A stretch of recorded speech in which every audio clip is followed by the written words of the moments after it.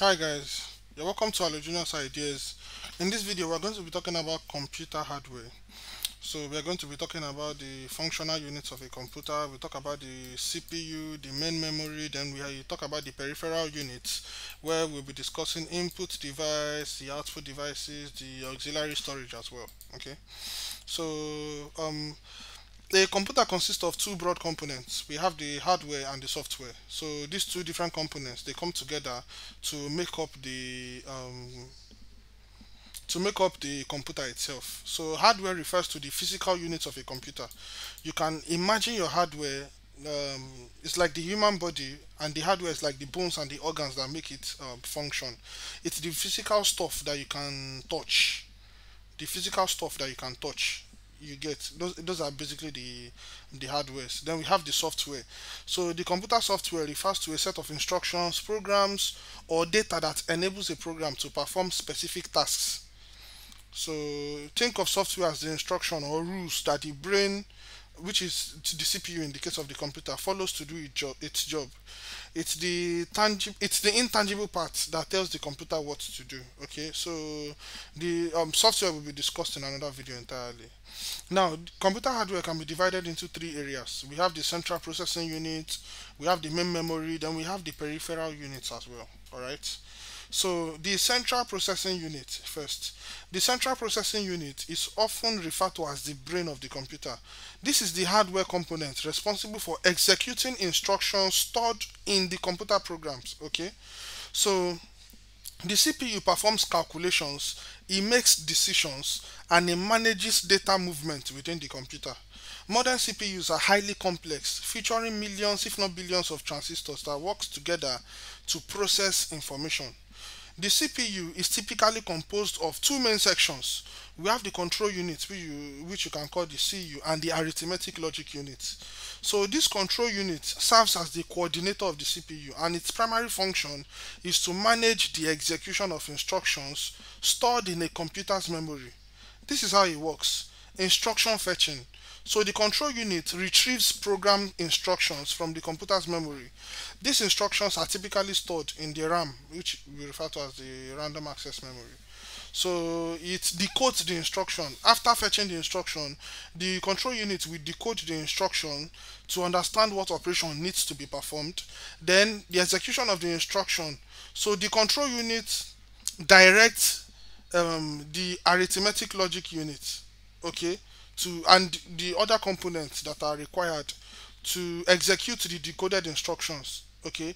The control unit will decode the instruction. After decoding it it will understand okay this is the um, operation that needs to be performed. Then it will coordinate the execution by directing the other parts of the cpu to execute the decoded instructions.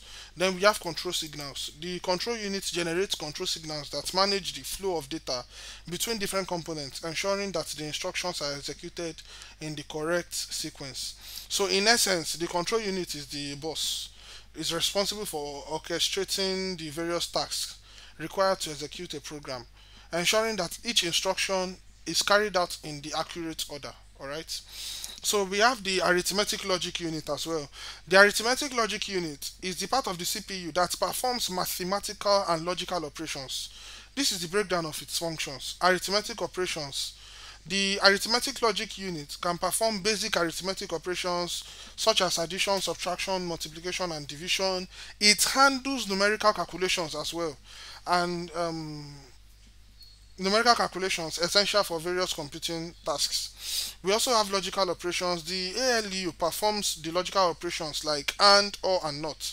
These operations are crucial for decision making, uh, decision making processes, and data manipulation. We also have the comparison operations. The ALU compares the data and determines which one is greater than equal to less than and all those. So this is fundamental for decision making in computer programs. We also have bitwise op operations. The arithmetic logic unit can uh, manipulate individual bits, which are the smallest units of data in a computer. Alright, bitwise operations are essential for low-level data processing.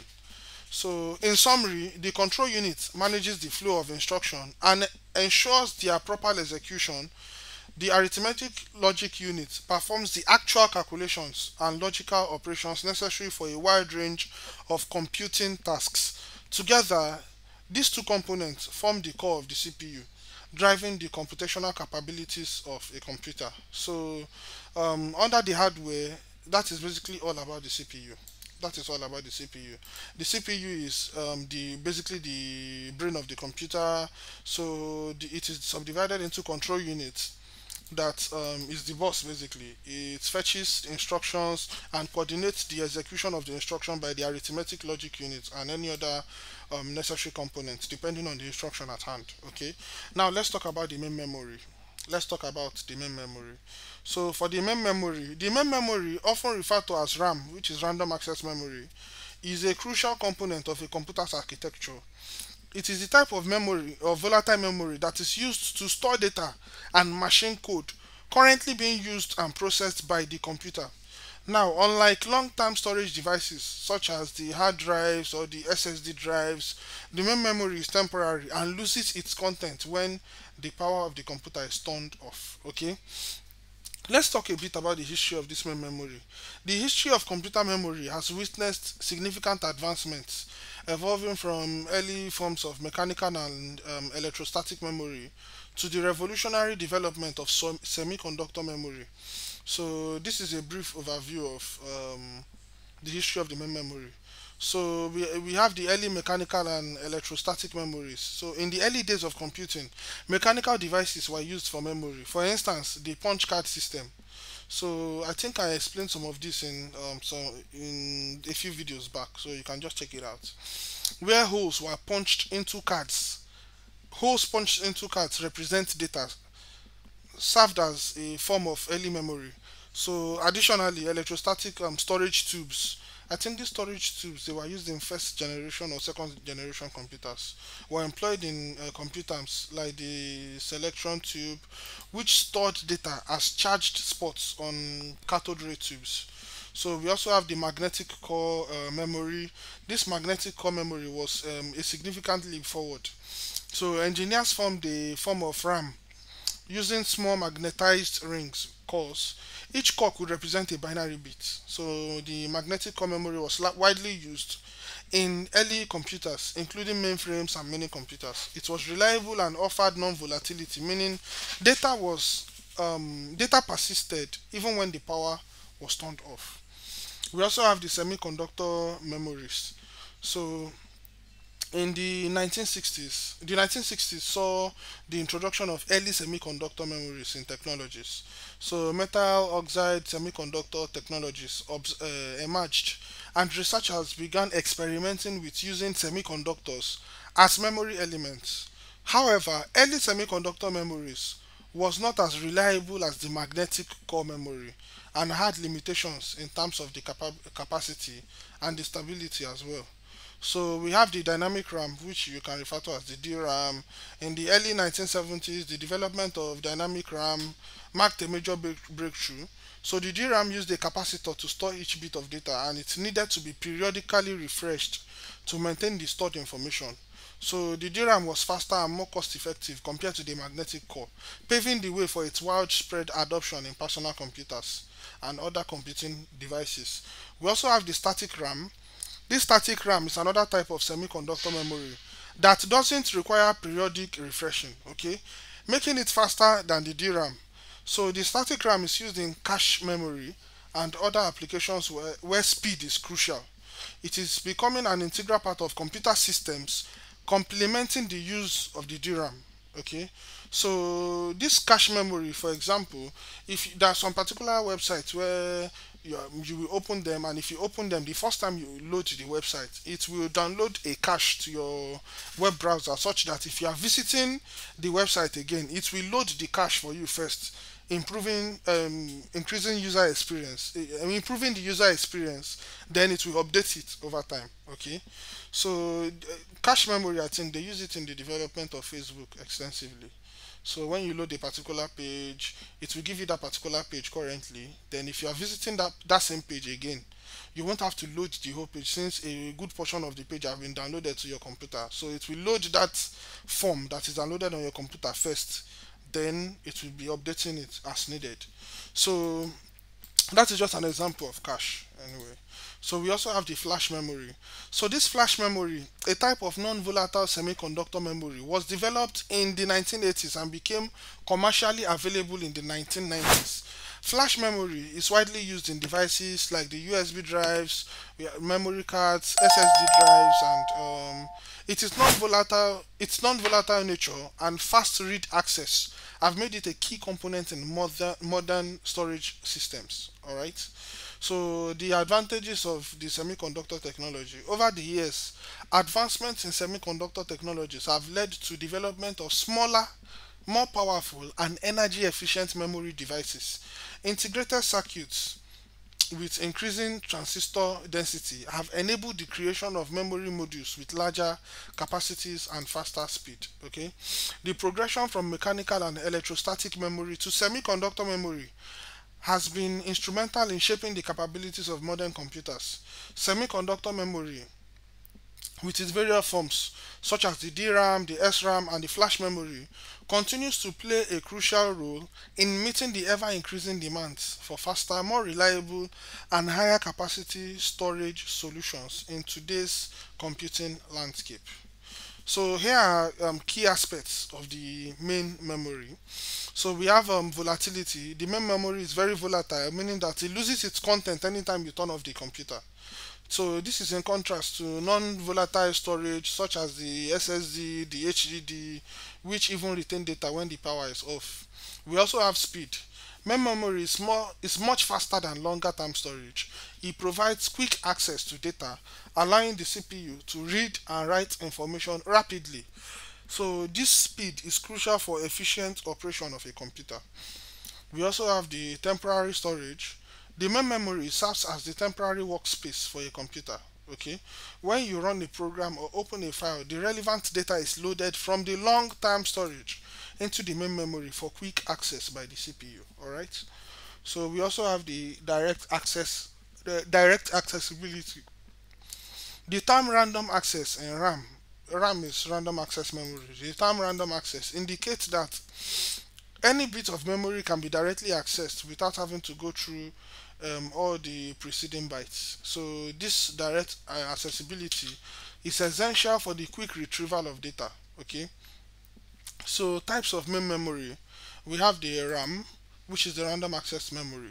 This is the type of main memory used in most computers. It is used for actively running programs and temporarily storing data. RAM is volatile and its contents are cleared when power is turned off. We have the cache memory a smaller faster type of memory that stores frequently accessed data for quicker retrieval by the CPU. For example, what I just um, explained, that there is a type of data that every time, perhaps um, consistently, the, use, the user retrieves the data often. So why not just create a cache memory for that particular data so that every time the user requests for that data, you will respond with that the contents of the cache memory. So that, but you will update as needed every time there is something new to add to the cache memory all right so then we have the virtual memory an extension of the physical memory that uses part of the hard drive to simulate additional RAM when the physical memory is full. So the role in program execution. When you open a program or a file, the relevant data is loaded from the long-term storage, like the hard drive, into the main memory.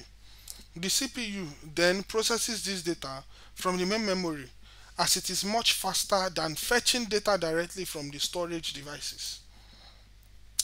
So the capacity consideration, the capacity of main memory is a crucial factor in a computer's performance. In modern computers, having sufficient RAM ensures that multiple applications can run simultaneously without significant slowdowns. In summary, main memory, which is the RAM, plays a vital role in the day-to-day functioning of a computer. It provides high-speed, volatile workspace for the CPU to quickly access and manipulate data during the execution of programs. so that will be all for the main memory if you remember vividly we are going to be talking about the CPU which we have done the memory then the last part we have the peripheral unit which is going to consist of the input devices the output devices and the auxiliary storage devices so now moving down to the peripheral units. Now, computer peripheral units are devices connected to a computer that expands its functionality and capa capabilities. So, see this as a form of extension to extend the to enable the computer the computer to do way more than it is um that it has capacity to do normally. For example, I'm on Chrome web browser, you can see all these extensions I have over here. When you install them, you'll be able to, your Chrome web browser will be able to do way more than it would be able to do normally, alright? So you can see peripheral units in that light. So these peripherals interact with the computer, providing input, receiving output, or serving additional storage functions. They allow users to interact with the computer system and enhance its utility for various um, tasks the subdivision of peripheral units. So peripheral units are often categorized into three main types based on their primary functions. We have the input devices, the output devices, and we have the auxiliary storage devices. So talking of the input devices, just a summary of the three of them. Input devices are used to feed data and commands into the computer, alright? You use input devices to feed data and commands into the computer. They facilitate communication from the external environment into the computer. Examples of input devices includes the keyboard. The keyboard allows users to input alphanumeric characters and commands. We have the mouse, which enables pointing, clicking and dragging actions. We have the touch screen as well. Response to touch gestures for input. We have the scanner, converts physical documents or images into digital format. Then we have the microphone with which I'm recording for example, which captures audio input for voice commands or recording. So we have the output devices as well. The output devices present information processed by the computer to the user in a human readable form. Don't forget, um, a computer is an electronic machine. It will accept data first. After accepting the data, it will not process the data. After processing the data, it will not just process the data for no reason. It will process the data, so some sort of output has to be shown to the user that performed the, the action so the input device is what you are using to feed the data and commands to the computer. Output devices are used to present information processed by the computer, all right? They convert electronic data into a format that is understandable and usable. Understandable and usable. Examples of output devices include the monitor uh, or the display which presents visual information and graphics. For example your desktop um, your desktop screen yes your TV and all those. We have the printer produces hard copies of documents or images. We have the speaker as well outputs audio for various applications such as your music or um, sound system. We have the projector which displays computer components on a larger screen or surface.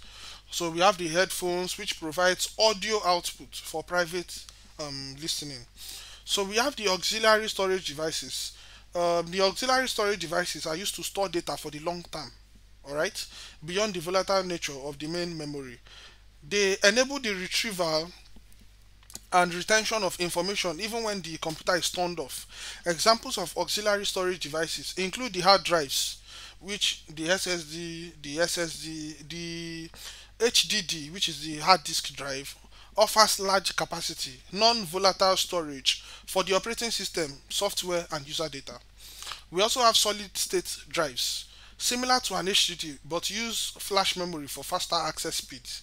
We have the USB flash drive, which is more portable, it is a removable storage device. We have the external hard drive, additional often larger storage connected externally to the computer. Then we have the CD, the DVD, Blu-ray drives so the one you use together with your CD-ROM or your uh, compact discs uh, players at home. So so the subdivisions into input output and auxiliary storage devices helps organize the diverse arrays array of peripherals based on their primary functions. These devices collectively contribute to a comprehensive and interacting interactive computing experience, allowing users to input information, receive output, and store data for future use. So the peripheral devices now can be classified into three: the input, the output, then the peripheral, then the auxiliary storage devices. Input, we use them to feed data and commands into the computer. Um, the the output use it to present data process data in a form that the human can understand and can use.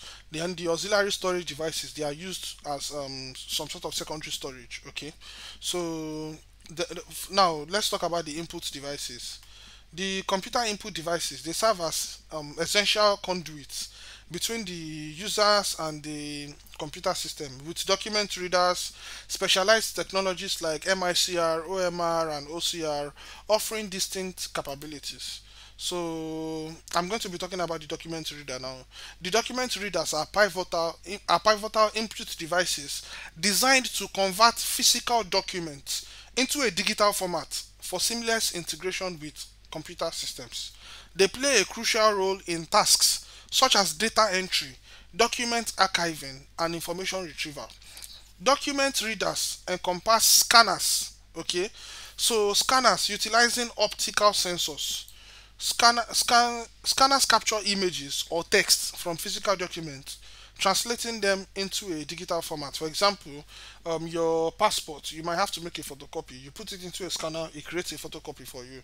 You might have to photocopy your passport or any other important um, document for use. So we also have the document cameras. Tailored cameras designed to capture real-time images of documents or objects commonly used in the educational and um, presentation setting. All right. Now let's talk about the MICR, which is the magnetic ink character recognition. So the MICR represents a specialized technology that employs magnetic ink and distinctive characters to encode information on documents, particularly prevalent in the banking industry for processing checks. Alright, the MICR input device, such as MICR readers, employ magnetic sensors to swiftly and accurately capture data encoded in the magnetic ink um, characters on checks, ensuring secure and efficient uh, processing. All right. We also have the OMR. Uh, the OMR technology is specifically designed for recognizing, capturing data from marked fields on a paper. Frequently utilized in surveys, exams, and assessments with multiple choice formats, OMR input devices include OMR scanners, identify and interpret marks made with pencils or pens in predetermined areas on paper, streamlining data collection in standardized formats. All right, this OMR technology, um, it was it is used extensively in the educational sector, where you you provide um, uh, they call it OBJ kind of uh, exams or tests. So you, they give you an OMR sheet. You have the four options A to E, for example. For number one, you will see the option to tick A, B, or C or any other option you want to tick. So instead of marking all those scripts manually, imagine that you have 4,000 scripts to 4,000 OMR sheets to mark. So you just feed everything into the computer, the machine, the machine will mark everything manually and you're good to go. All right. So it will save you time. So we have the OCR, um, the optical character recognition. The OCR stands out as a sophisticated technology that transforms printed or handwritten text into machine encoded text. Integrated into scanners or available as standalone OCR devices. OCR input devices meticulously analyze the shapes and patterns of characters in an image to extract readable text. This technology finds widespread application in digitizing printed documents, enhancing the accessibility and enabling searchable database. All right. So um, these specialized input devices, including document readers and technologies like these three, they significantly broaden the computer's capabilities. They not only facilitate efficient data data entry, but also contributes to the automation of documents processing, error reduction, and improved overall tasks efficiency. All right, making them invaluable in diverse industries and um, applications.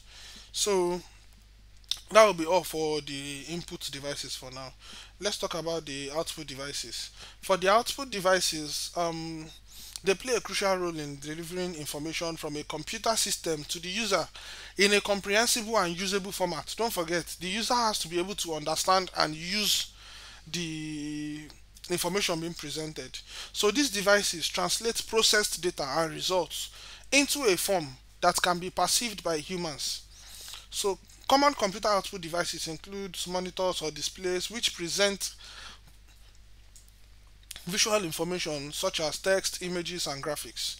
Printers generate hard copies of documents, enabling a tangible representation of digital content. Alright, so we have um, the printer, the visual display unit, we have the com- computer output in microfilm, the graphics and the magnetically encoded ones. So I will just leave this one out for now. I'll leave this one out for now. So talking about the printers. Printers um, critical devices in the world of computing they come in two main types. We have the impact printers and the non-impact printers. So each type serves distinct purposes employing unique mechanisms to produce to reproduce digital content on paper all right so as for the impact printers we have the dot matrix uh, printers. So a resilient workhorse dot matrix printers utilize a matrix of pins to strike an ink an inked ribbon creating characters and images through patterns of dots known for their durability and ability to produce multi multi-part forms. They find application in business requiring carbon copy printing all right so we have the daisy wheel printers as well.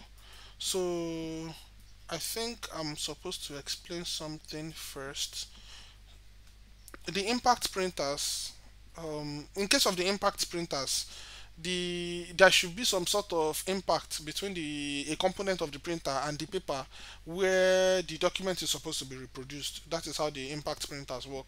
For the non-impact printers there is no contact between the paper and what is actually drawing out the the patterns on the paper. So let's let's just continue so the, daisy wheel printers operating with a wheel or disc adorned with character impression.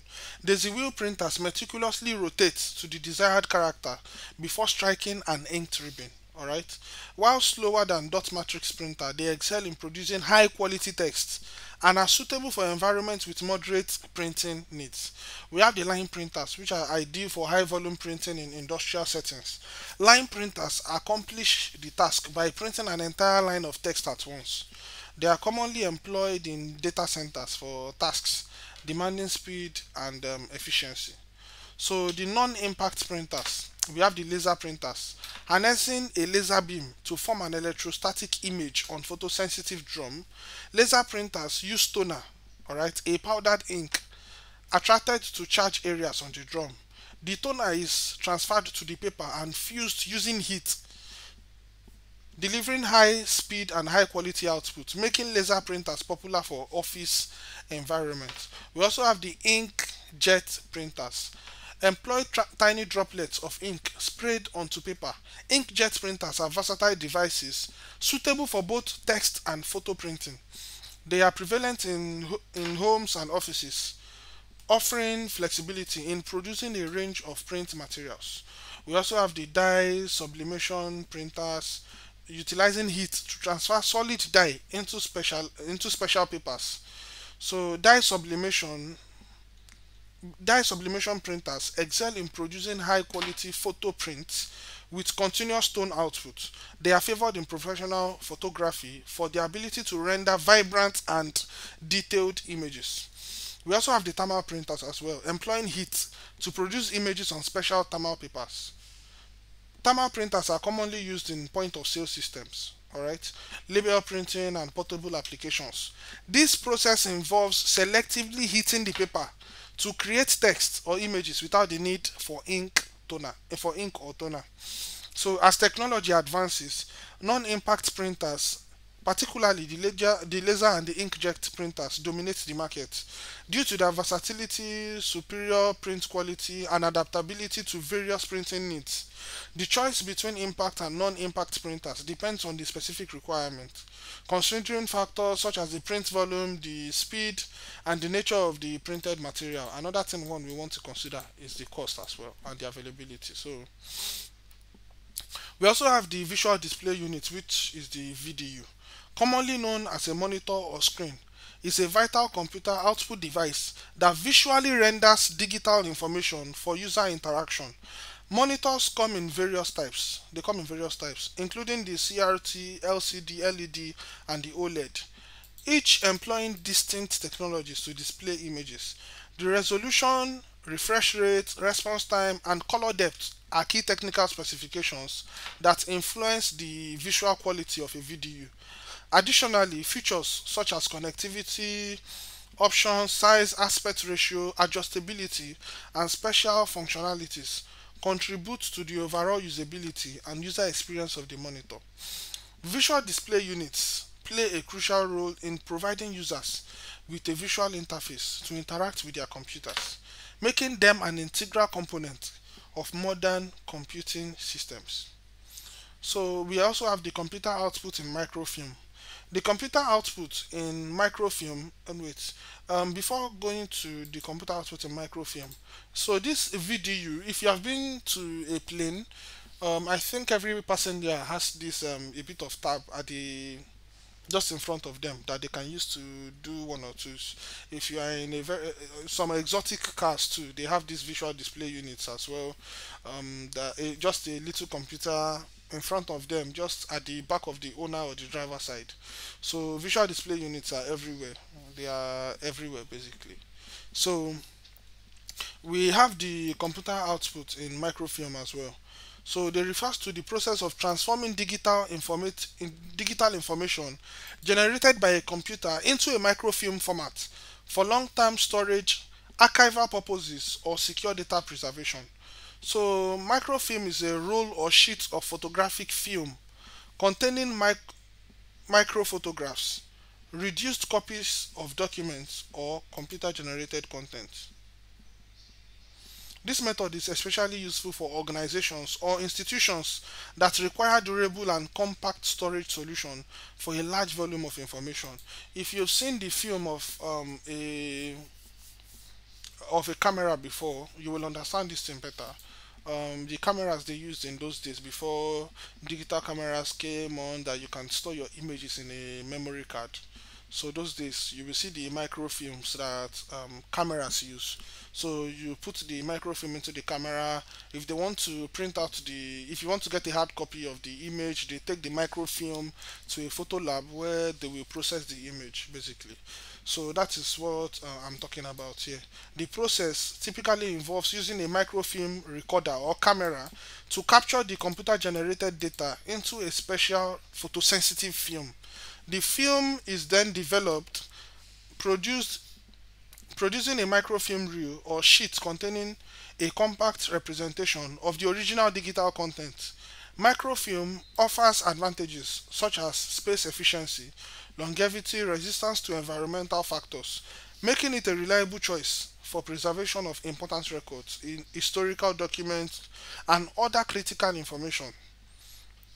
While modern storage technologies have largely replaced the microfilm for everyday data storage, it remains relevant in situations where physical archival copies are required for legal, historical, or regulatory reasons. So we also have the computer graphics. So talking about the computer graphics, they refer to creation, manipulation, and representation of visual images and animations using computers. It encompasses a wide range of applications from, say, 2D graphics like icons, illustrations to 3D graphics used in video games, simulations, and computer-aided design. So graphic software and programming languages are employed to generate and manipulate images, allowing users to to convey information, express creativity, and simulate virtual environments. So now for you to generate computer graphics, you need some specialized output devices for computer graphics.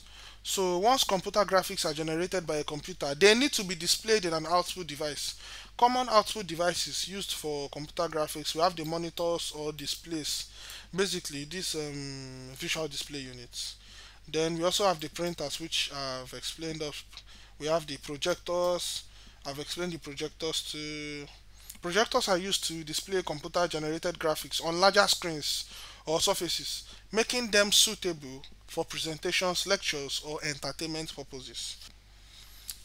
Graph plotters are specialized output devices that use pens or markers to create precise, detailed drawings on paper. They are often used in engineering and design application.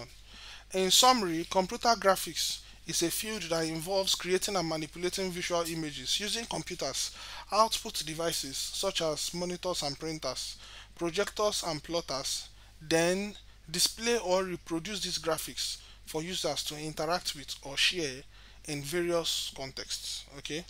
Now, the final one we're going to be talking about the auxiliary storage devices.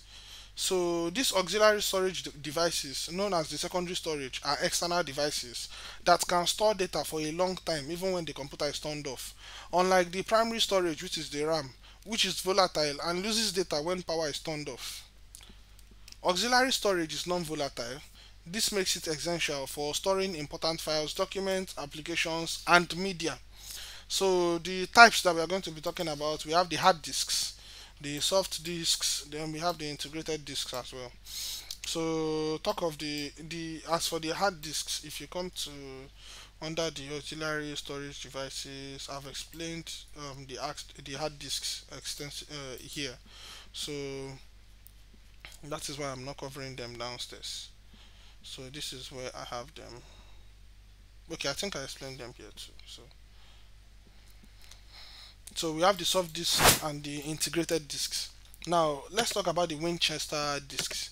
The term Winchester um, disk originated as a code name from an influential early hard disk drive HDD developed by International Business Machines which is IBM in the 1970s.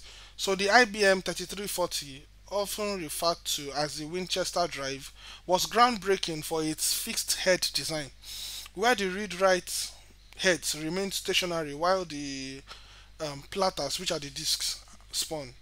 This design marked a departure from earlier removable head drives, contributing to increased storage density and reliability. They play a pivotal role in the advancing storage technology by offering higher capacities measured in megabytes it became a standard in mainframe and mini computer systems, meeting the growing demand for larger and faster storage solutions. While the term Winchester is less commonly used today, its legacy is evident in the evolution of hard disk drives and the broader landscape of data storage technologies. The innovations introduced by Winchester drives set the stage for the development of modern HDDs, solid state drives, and other high capacity storage solutions that are integral to contemporary computing. So the next one we're talking about the hard drives, all right? So the hard drives, which are the HDDs, they are traditional auxiliary storage devices that use magnetic storage to store and retrieve data. They consist of spinning disks, platters, coated with a magnetic material, and data is read is read or written using a read-write head that moves across the spinning platters. Characteristics HDDs offer high storage capacities and are commonly used in computers for long-term data storage. They are cost-effective but have mechanical components that may impact speed and durability. We also have the solid-state drives. The solid-state drives are newer auxiliary storage devices that use NAND NAND-based uh, flash memory to store data. Unlike HDDs, they have no moving parts, which contributes to their faster data access speeds and increased durability. SSDs are known for their high-speed performance, reliability, and energy efficiency. They are commonly used in laptops, desktops, and servers to provide faster data access and improved system responsiveness. Um, we also have the optical disks. So Optical disks are removable auxiliary storage devices that use optical technology to read and write data. Common types include the CD-ROMs, the DVDs and the Blu-ray disc. If you remember the um, uh, those days when you have the compact discs or DVDs at home, so the CDs themselves, that, those are what you refer to as optical discs. They are store they store data as uh, pits and lands on the disk's uh, surface, which is read by a laser by laser. So basically, your DVD, your CD, they use uh, laser technology to read the data contained on the CD, which is then sent to the television to be uh, presented. So characteristics of the optical discs. The optical discs are used for storing various types of data, including software, music, movies, and backups. They offer portability but have lower storage capacities compared to the HDDs and to the SSDs. So we also have the soft disks. So don't forget if you come here, we have the hard disk, we have the soft disks, then we have the integrated disk. So that will be all about the hard disks. Now let's talk about the soft disks. So soft disks are basically referred to as the floppy disks. They are they are not in use anymore. So the term soft disks is often associated with a more commonly used term, floppy disk or floppy disk. So they were uh, portable and medium widely used in the 20th, 20th century. These flexible magnetic storage devices played a crucial role in early personal computing. For the physical characteristics, they are thin, flexible plastic squares enclosed in a protective casing. They were available in various sizes, with the 3.5 inch and the 5.25 inch format being the most common. The floppy designation comes from the flexible, flexible nature of the disk. For the storage capacity, floppy disks had a modest storage capacity. They had modest storage capacities, typically measured in kilobytes or megabytes. The 3.5 inch disk, which later became the standard, could store 1.14 megabyte of data just imagine.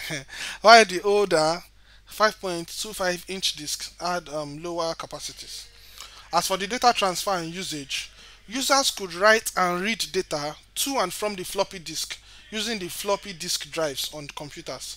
Floppies were used for storing files applications and even serving as a bootable medium for operating system as well. They were commonly used to share and distribute software and data. Limited durability. Floppy disks had some drawbacks, include, including vulner vulnerability to physical damage, data corruption, and limited durability. Exposure to magnetic fields or physical mishandling could lead to data loss. Then it is phased out. As technology advanced, floppy disks were gradually phased out in favor of more robust and higher capacity storage solutions like the CD-ROMs, the USB drives, and the online or cloud storage. The decline in floppy disk usage became pronounced in the early 2000s. So, although largely obsolete today, the floppy disk remains an icon of the early personal computing era. It played a crucial role in the history of data storage, paving the way for subsequent innovations in portable and high capacity storage technologies. Talking of the size of um, floppy disks, so they came in various sizes and formats throughout their history. The two most common sizes are the 3.5 and the 2.5 inch. So we have the 8 inch floppy disk. So the size is 8 inches and um, the usage in the early 1970s. Then we have the 5.25 inch floppy disk. You can see the size. The capacity was varied over time between 160 kilobyte and 1.2 MB, I think. Then the usage commonly used in personal computers during the late 1970s to the 1980s. We have the 3.5 inch floppy disks. The capacity, I think the most common capacity was 1.44 um, MB. So the later versions were increased a bit.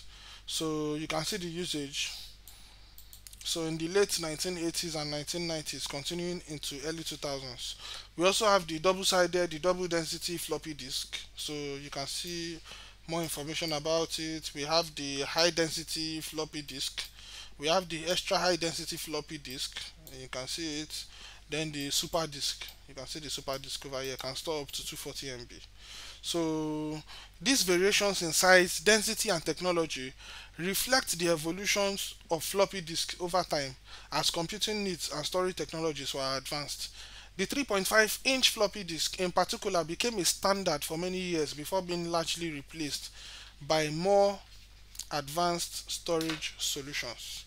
So um, now let's talk more about the optical disc so for the optical disc we have the cd-rom the write once read many um, we have the writable magneto optical disc yes. So as for the optical disc the definition optical discs are storage media that uses laser technology to read and write data. They consist of a reflective surface um, with microscopic uh, pits and lands that represent binary data. The laser reads this, these variations to retrieve information. So, like I said the other time, the op optical discs they use laser technology to read data. So, the type of data we have the the type of optical discs. We have the compact discs, which we refer to as the CDs. We have the digital um, versatile discs we have the Blu-ray disc. So they were largely used for storing and distributing digital content basically. We have the CD-ROM, compact disc read-only memory. So CD-ROMs are optical discs that store data in read-only format, meaning that data can be read from them but not rewritten to them. They played a pivotal role in distributing software and games and multimedia content in the 1990s and early 2000s. So they, they have a capacity of approximately 700 MB. So we also have the write ones and read many um, optical discs. So you can call them WORM. So WORM optical disc allow data to be written to them once, after which the data becomes permanent and cannot be altered. This write once feature makes them suitable for archiving purposes and ensuring data integrity. The use case so they are used in applications where data needs to be stored securely and remain unaltered, such as legal and financial records. Okay. We also have the rewritable magneto optical discs. The rewritable magneto optical disc use a combination of magnetic and optical technologies. Data can be written, erased, and rewritten on these discs. They offer the advantage of being reusable, allowing users to update and modify the stored information so the capacity varied, but it can go as high as 2.3 gig. So the key distinction, distinction the CD-ROM versus the WORM. CD-ROMs are read-only while the WORM disk allow a one-time write, offering a balance between permanence and limited adaptability. We also have the magneto optical versus the um, write once read uh, many uh, storage. So the magneto optical disk they are rewritable, providing flexibility for data updates, whereas WORM disk are write once, ensuring data integrity but limited modifications. Okay.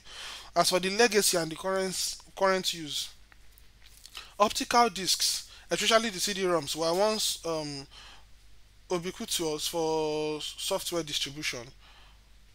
While their usage has declined with the rise of digital downloads and streaming, optical disks, particularly WORM and uh, magneto-optical variants are still employed in certain industries for secure and archival storage needs all right we also have the integrated disks as well this the integrated disks they, you can call them embedded flash memory so they are relatively new type of auxiliary storage devices that are becoming increasingly popular in mobile devices like smartphones tablets and laptops unlike traditional auxiliary storage options like the hard disk the hard um, drive, the hard disk drives, and the solid state drives.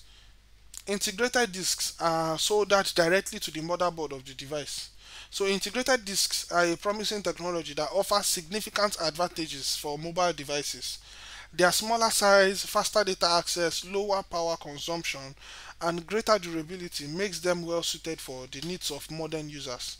While their limited storage capacity and higher cost may be limitation for some, the benefits offered by integrated disks are expected to make them an increasingly popular choice in the future of mobile computing.